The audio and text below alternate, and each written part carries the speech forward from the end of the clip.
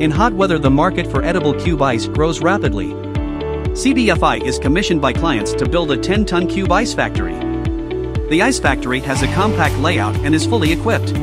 The water treatment workshop is responsible for purifying and disinfecting the water sources and regularly conducting water quality tests. The ice making area is the core of the Cube Ice Factory with CBFI's 10-ton cube ice machine equipment. The high-efficiency, energy-saving compressor refrigeration technology produces high-quality cube ice that is uniform, transparent, and bubble-free. The ice cube automatically fall off once frozen collecting in a storage bin below the ice machine. Only one worker is needed to control the ice discharge packing and storage process. The whole operation is simple and convenient and has been highly recognized by our customers. CBFI always adheres to the business philosophy of achieving customers and creating value, making the world fall in love with Made in China.